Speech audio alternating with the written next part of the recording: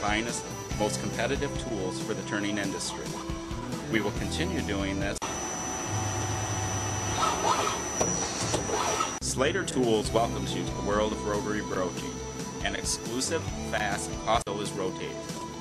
Hex, double hex, square, anyway are a few of the possibilities now available to operate as a Rotary broaching has best been described by the accuracy and performance you have come to expect from Slater. The holder, along with the end cutting broach tool, is designed for producing polygon forms direction. The design of each holder includes a canted Mary, while the internal live spindle, along with the end cutting broach tool, forms easily produced. Form sizes can be broached up to 2 inches in aluminum and depths are being successfully achieved every day, and this is only a technical forming length of rotary broaching is up to one and a half times the distance across flats. Fluids play a minor role in rotary broaching. Any type and the amount of heat generated is very minimal.